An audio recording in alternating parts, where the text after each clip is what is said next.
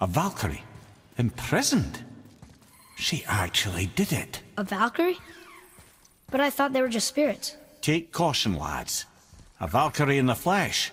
I can't think of a more formidable opponent. She does not attack. Does she even know we're here? she knows we're here. Whoa! How'd you do that?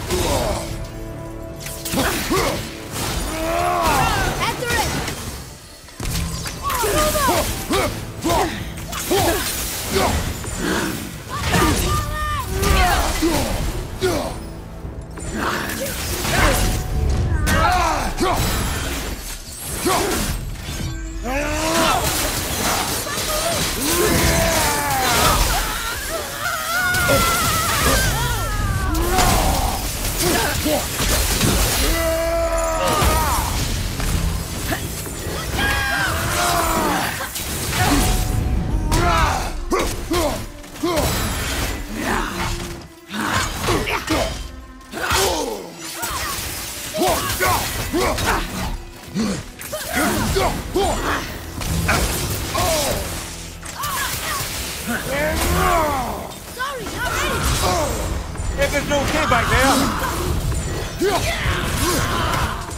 Sorry,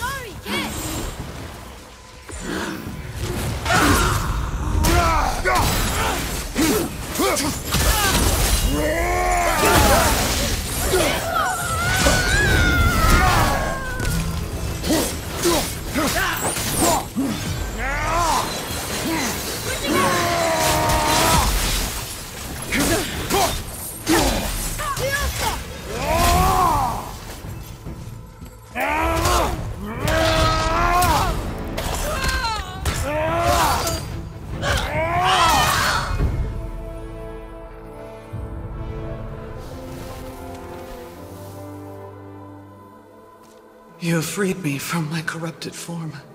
You have my eternal gratitude. But my sisters remain trapped as I was. Take my helm. Find them. Free them. The fate of the Valkyries rest on your shoulders.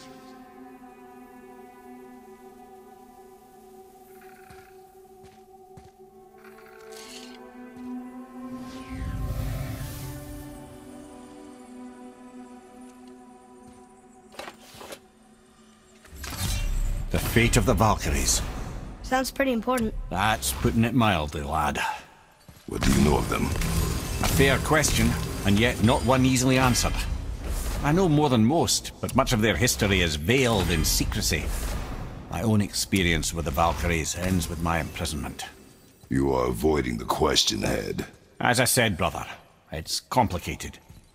I don't know why or how they become such wretched creatures, but perhaps if we can free more of them. You want us to fight more of those things? The fate of the Valkyries, lad. A more worthy endeavor there is not. It will be dangerous. Well, that hasn't stopped you before, eh? That's the spirit.